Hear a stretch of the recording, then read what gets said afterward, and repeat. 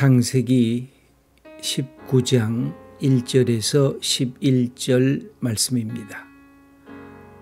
하나님 아버지, 이 아침도 주님의 말씀에 귀를 기울입니다. 주님의 뜻을 깨닫고 용기 있게 세상으로 나가려 합니다.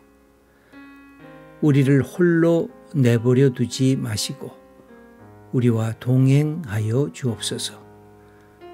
때로는 세상 욕이 부드러운 바람처럼 때로는 폭풍우처럼 우리의 삶을 흔들며 초토화시키기까지 합니다.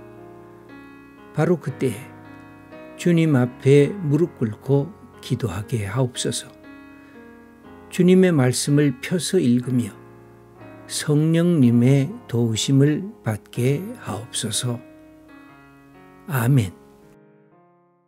여러분 우리가 갖고 있는 우리의 환경은 매우 중요한 것입니다. 사람이 환경을 지배할 수도 있지만 환경이 사람을 지배하는 경우도 많기 때문에 그렇습니다.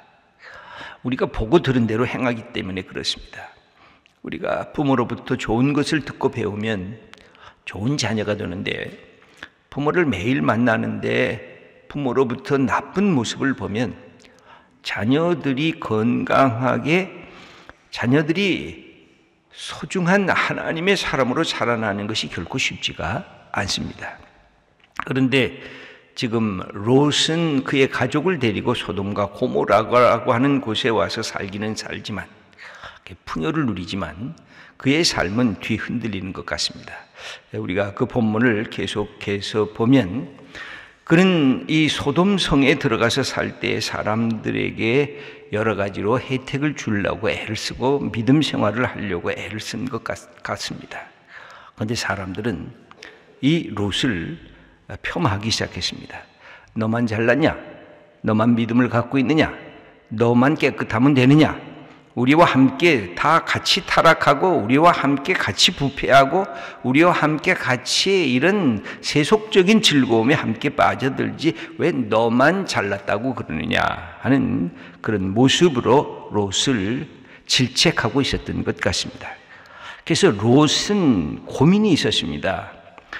아, 자기의 삼촌처럼 아브라함처럼 살기를 원하는 신앙의 마음과 그 다음에 세속적인 사회가 끊임없이 유혹하는 삶의 현장과 이 두 가지를 내가 어떻게 이것을 수용하고 가늠해야 될 것인가 하는 것이 이 롯의 고민이었던 것처럼 보여집니다. 그랬을 때 여기 두 천사를 자기의 동지처럼 만난 것입니다. 아, 이런 분들하고 내가 이 얘기를 하면 되겠다. 이런 분들하고 함께 있으면 되겠다. 그런데 그래서 그를 환대했는데 삶의 이 사건은 다르게 흘러갑니다. 어, 외부에서 어떤 손님들이 왔다는 소식을 소돔 백성들이 들으면서 한 패가 왔구나. 아, 또 우리들에게 간섭하려고 하는구나 하면서 그들을 향해서 아, 분노를 발해 발한 그 모습이 기록이 되어 있습니다. 4절의 말씀을 읽어보겠습니다. 그들이 눕기 전에 그 성 사람 곧 소돔 백성들이 노소를 막론하고 원근에서 다 모여 그 집을 애워싸고 아, 여기에 그 보면 그들이 잠들기 전에 소돔 백성들이 나이가 들었든지 젊었든지 멀리 있든지 가까이 있든지 아, 이 롯이라고 하는 이 친구 때문에 우리의 삶이 회방을 받는다. 그래서 그를 어떻게든지 없애려고 했는데 거기에다가 손님까지 왔다니 이거 이해 안 되겠다라고 공격적으로 왔는데 5절을 읽어보겠습니다. 롯을 부르고 그에게 이르되 오늘 밤에 내게 온 사람들이 어디 있느냐 이끌어내라. 우리가 그들을 상관하리라. 그러면서 롯을 향해서 오늘 그 온 사람들 남자들을 끌어내라. 그러면 우리가 그들을 상관하리라. 여기 상관하리라고 하는 것은 성적인 용어입니다. 여러분 영어 성경을 보면 we can have sex with them 이렇게 되어 있습니다. 그러니까 뭐냐면 성적인 관계를 우리가 저들과 하겠다. 그래서 이 소돔이라고 하는 것이 전통적으로 알려진 것은 성적 타락이 있었고 무엇보다 동성애적인 그런 부패한 곳이었다 하는 그런 우리가 추측과 또 판단을 하는 이유도 여기에 있습니다. 그러면서 이 롯을 부르고 그 사람들과 함께 성적인 행위를 하겠다고 요청을 했습니다. 롯은 이것을 거절하는데 여기 보면 이 소돔의 백성들이 갖고 있는 악의 특성이 나와 있는데 개인적이라기보다는 집 단화되어져 있습니다. 아, 여러분 이 개인과 집단의 관계는 아, 이 라이놀드 니브라고 하는 신학자가 도덕적 인간과 비도덕적 사회라고 하는 글을 쓰면서 사람이 사람이 개인과 개인으로 만나보면 도덕성이 그래도 꽤 있다는 것입니다. 그런데 이것이 집단화되고 사회화가 되면 그 도덕성이 어느 순간 다 사라지고 거기에는 이기적인 탐욕과 타락과 부패로 가는 비도덕적인 사회로 나가는 그, 그 당시 미국 사회의 현상을 보면서 아니 이 현상은 사실은 더 보편적인 현상이라고도 할 수가 있습니다. 그런 현상을 보면서 개인적인 인간은 도덕성이 그래도 남아 있어서 뭔가 자기를 변화시키고 다른 사람과의 관계를 열어놓으려고 하는데 이것이 사회적 집단화가 되면 그 속에서 있는 것은 탐욕적이고 이기적이고 자기중심적인 그런 삶의 자리로 바뀌어진다는 것입니다.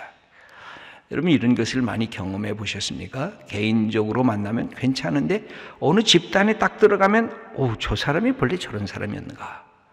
그래서 못된 집단이고 아주 못된 그룹이라고 생각해서 또 개인적으로 만나보면 아, 한 사람 한 사람이 그래도 괜찮은 사람이어서 이걸 도대체 어떻게 가늠해야 될까? 근데 여기 보면 이 소돔의 사람들은 집단화가 되어 있었고 거칠고 사악하고 있습니다.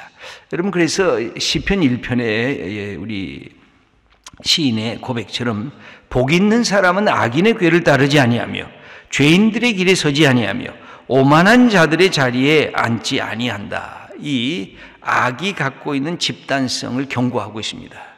악은 그 다음에 악을 납니다. 여기 보면 이 악이 또 다른 사람들을 끄집어들입니다.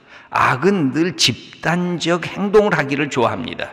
그래서 집단이 될 때 굉장히 위험한 것입니다. 이 집단이 갖고 있는 것에는 뭐가 안 되냐면 소통이 안 되고 주로 일방적인 명령만 이게 진행이 되는데 거기에 있어서 그래서 제일 중요한 것이 지도자가 중요합니다. 이 공동체에서 지도자가 한번 타락을 하면 공동체 전체가 무너집니다. 지도자가 바른 생각을 갖고 공동체를 이끌려고 그러면 집단의 이 이기적이고 탐욕적인 것들이 어느 세계로 바꾸냐면 공의와 정의의 세계로 바뀌어집니다. 그래서 이 집단일 때는 항상 공의와 정의가 우선적인 것입니다. 개인일 때는 도덕성과 개인이 갖고 있는 국률과 사랑, 용서 이런 것이 소중하지만 집단으로 들어갈 때 용서와 사랑이 먼저 가면은 이 집단은 아주 우구 이그 어디로 가는 목표를 상실해 버리고 무너지는데 집단이 갖고 있는 늘 위험성이 그것입니다. 그런데 이 두 가지를 동시에 갖고 있는 것이 우리 성경을 보면 두 가지가 있어요. 하나는 가정이고, 그래서 가정은 사랑과 공의가 함께 가야 되고, 또 하나에 있다면 교회입니다. 교회도 사랑과 공의가 함께 가야 하는 것입니다.